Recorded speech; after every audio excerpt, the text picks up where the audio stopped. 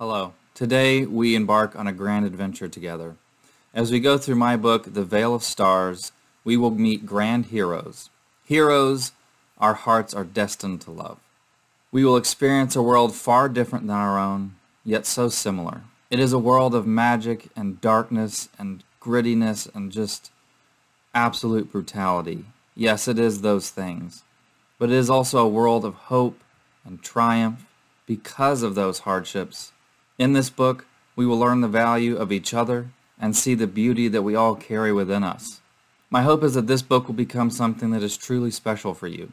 Whether you're reading it for the hundredth time or the first, whether you've never read it, you don't intend on buying it, and you just want to tune in and see what it's all about, you just want to hear a good story over a nice video on a Saturday morning.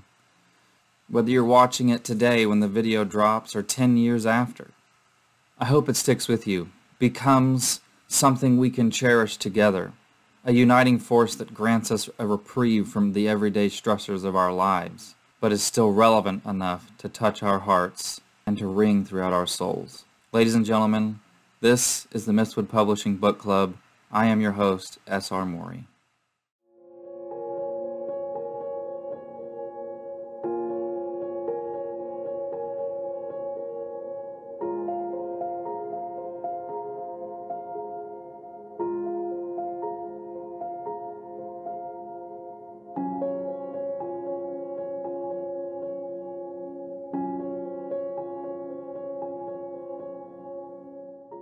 Alright, let's look at the Legends of Fostra Saga 1, The Veil of Stars together.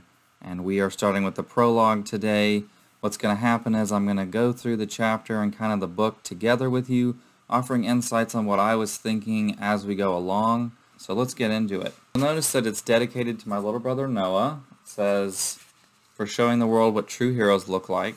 I thought it was only natural that the book kind of depicting Narbad uh, who is really going to, this character that, if you've read The Sylvan Mist, ha, you know, becomes really a rock for uh, other characters. You know, he is the Boy Scout, essentially. You know, he's my Superman equivalent, I suppose. Uh, that doesn't mean he's like Superman, but you know what I mean. He's, he's very virtuous. So I thought it was only natural that the first book of his be dedicated to someone that I felt, you know, embodied a good person, a really good person, and had all of their future ahead of them. So that's why it's dedicated to my little brother Noah, and he continues to be amazing, and uh, I'm glad I could dedicate it to him. Uh, next we have a Bible verse, uh, which is very relevant to the story. It uh, is about the uh, prostitute that puts perfume on Jesus' feet. Um, if you've read the book in its entirety, you know why that's relevant. It's kind of the central, maybe moral lesson. You know, most folklore in the medieval age, and thus my books as well, since this is largely, you know, fantasy, there's always some kind of moral lesson in there. And we also had the monkey with the antlers, which people love. Uh, and if you've read the book, you know why the monkey's important. Then we have the Mistwood map, right, which I drew. You can see the original back there behind me.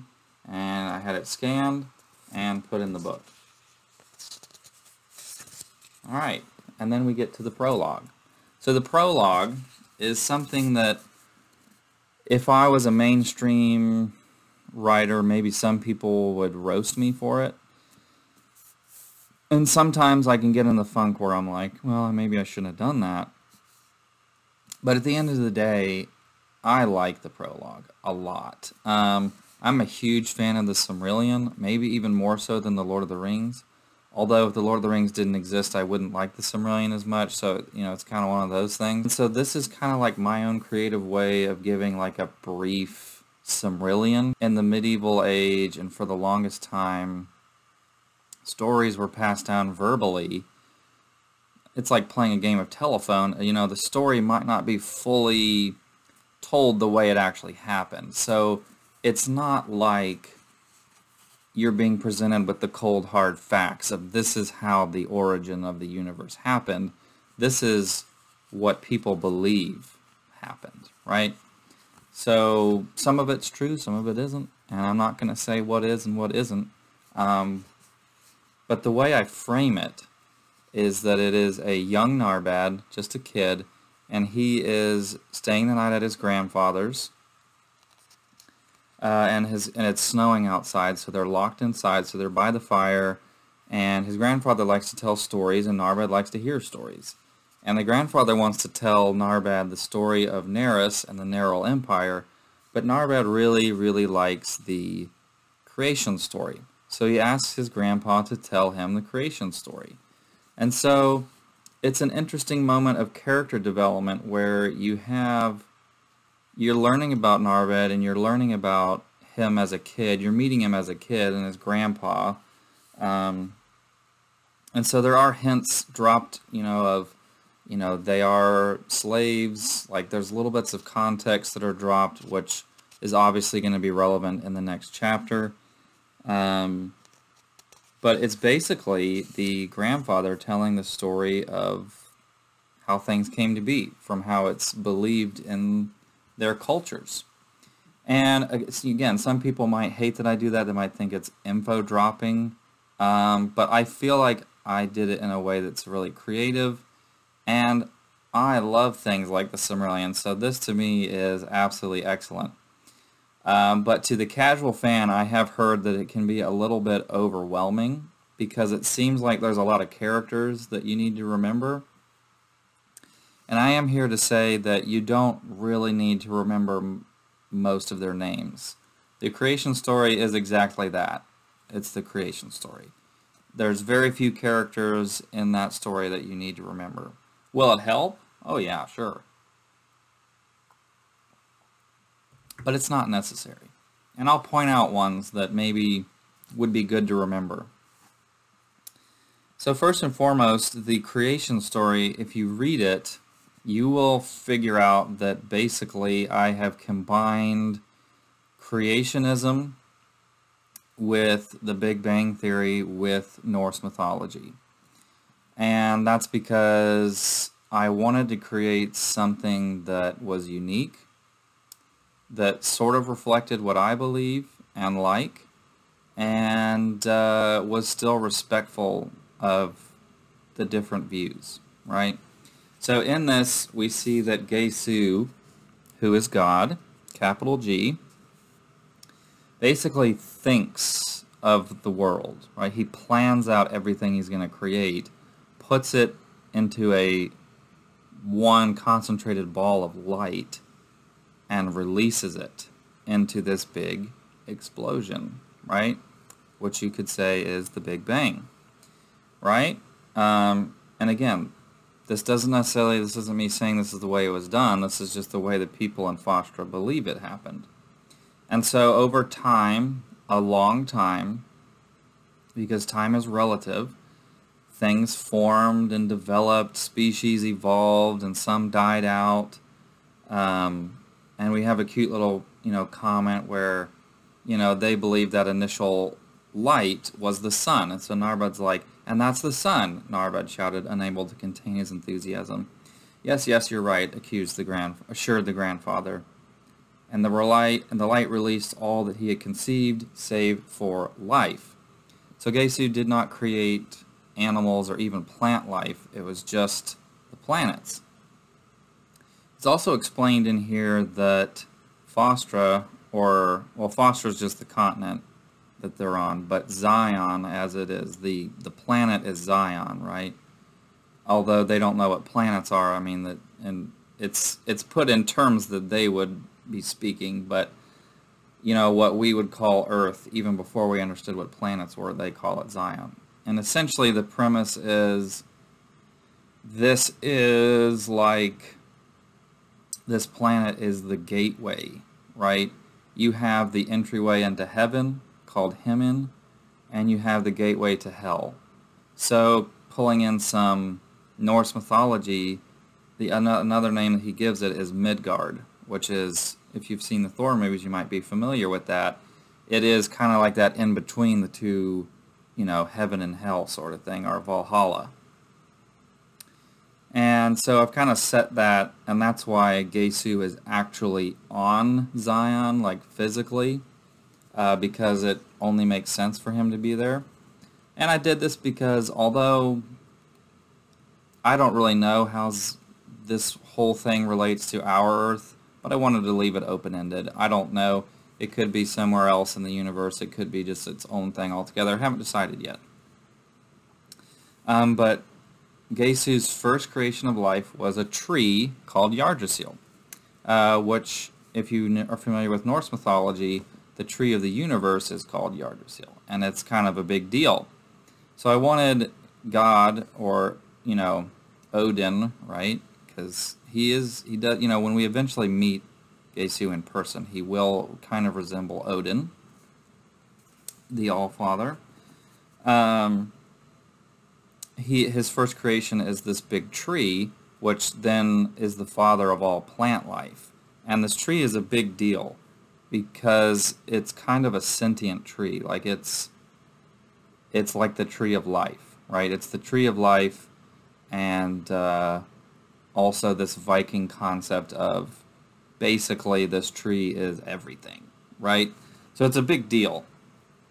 And so then Gesu makes animals and he, he, he wants to have angels of some kind to kind of be stewards of the place, so he asks for volunteers, and an eagle shows up and a lion shows up. The lion's name is Rollo. Yes, he's named after my cat Rollo, and well, who's named after a Viking. And Vandir, who is the eagle, and Gesu blends the two species to make a griffin. Griffins are his angels right? And these angels are given the, the ability to take whatever form they wish. Like, they don't have to look like a griffin. They're very much so very powerful, almost like lowercase gods. In fact, they often refer to themselves as such. So each of the two, Vandir and Rollo, are given sons and a daughter to help populate uh, and make more angels. And Rollo is gifted Dogger, Heimdall, who you might be familiar with from Norse mythology, Vor, Kvasir, and one female named Rain. Vandir was to receive the same number but begged Gesu for five sons. So he was given six children who were called Redgazar, Is, Bodis, Vitris, Eu, and Ursig. Eu was the female of these children. Rain and Redgazar and Kvasir and Eu came together and procreated. Through their seed, griffins grew in number. Now that's a lot of names there. Which ones do you really need to remember?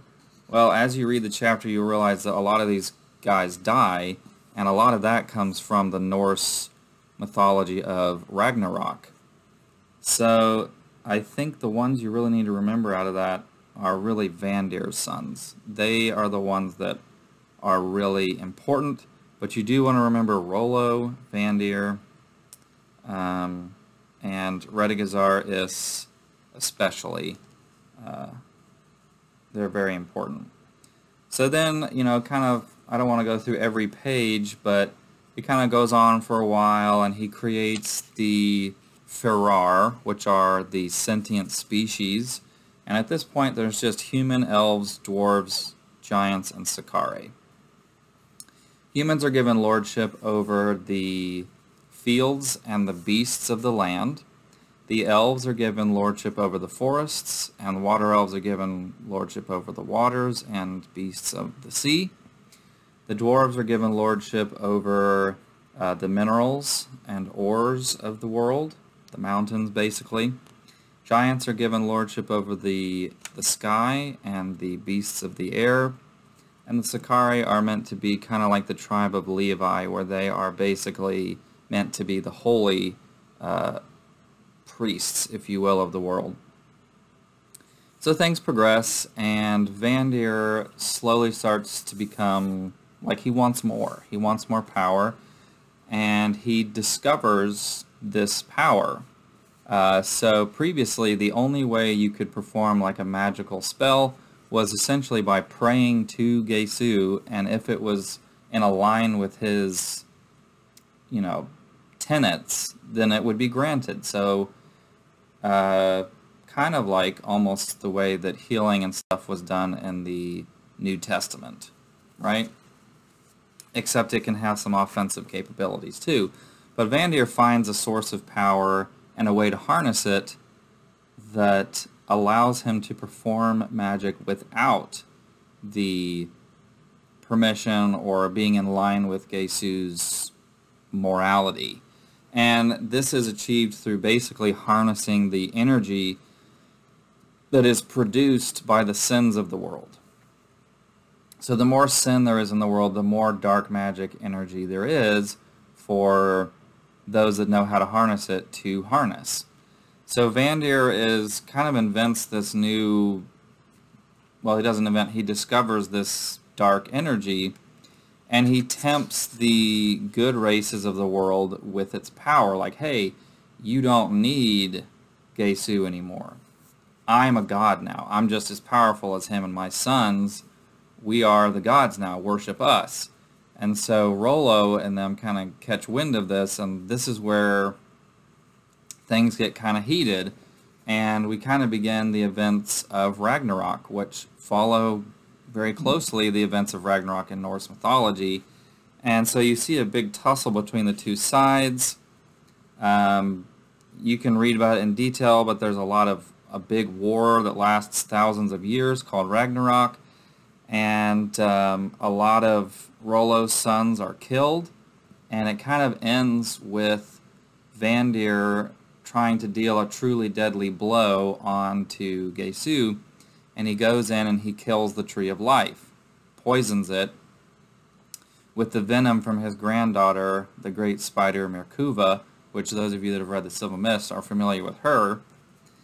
Um, and so that's when Geisu kind of is like, all right, I'm gonna I'm gonna intervene, despite you know my determination not to do that. And he basically pummels Vandir into the face of the earth, creating the big mountain um, on the map, if you can see the map, there's a big mountain there. There's a big ravine and then a mountain, and that was created from basically God punching Satan in the face, essentially. Um, other important events of that is that uh, Vandir's daughter betrayed him, and she's the reason why they discovered what Vandir was kind of doing, what he was plotting.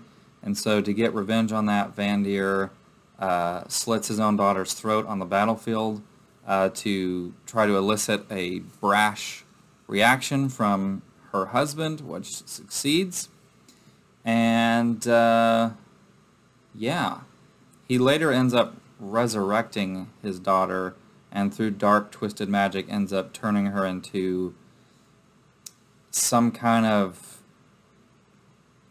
evil thing, right, named Bjorn. Darkheart. So then his grandfather kind of wraps up that story and talks about how God made a special armor out of the tree of that was, you know, Yggdrasil, which was killed by Vandir, and that through that tree, through the armor that was made from the fallen tree of life, that is the only way that Vandir and his sons can be killed, is basically through a champion Farrar, uh, who is a descendant of the first men, who wields the armor of Yggdrasil and successfully kind of redeems the Farrar. I'm not going to get into how exactly that all works because it would be a huge spoiler, but needless to say, Incan, Iekon and Dorlane, who is basically the chosen one who will wear the armor, is going to have their work cut out for them. Um, but the, the premise of that is that Geisu wants his creation to willingly choose him over Vandir, uh, because, I mean, he just was in a war where people, a lot of people picked Vandir over him. So he, he creates an opportunity for the Farrar to redeem themselves, but there's going to be some time before that happens. And so he also makes orcs uh, to kind of hold off Vandir until that time comes. Orcs in this book were made later you know, after all the other Farrar, after Ragnarok, specifically to basically be the knights of Geisu. So if if you were God and you were going to make a soldier who was going to be fighting the devil, basically, you would make something that was good and efficient at killing. And so that's why orcs look the way they do. Uh, they look more like Skyrim orcs in my books, not Lord of the Rings orcs. Um, you know, green skin, more like green-skinned Uruk-hai that are slightly more humanish, I suppose, if you want to keep the Lord of the Rings, you know, what would they look like? Um, so they're they're extra strong. They have more muscles than your average man. They they have the ability to basically like their adrenaline is like 10 times bet like more efficient than humans. And uh, basically orcs were made to be the protectors of the world until Yacon and Dorlane shows up. You know, the forest wraith, the the chosen one, if you will. So that's kind of the orc's place in the world. And then his grandfather kind of goes through and and talks about how as time has passed, you know, Vandir's tried to take Fostra a few times, but the orcs have kind of been there uh, in some form or another to prevent him from basically having his will. Basically, the orcs have done what they they were meant, you know, made to do. Um, but then he gets into his main story he wants to tell Narbad, which only takes a few pages, and that is the story of Neris.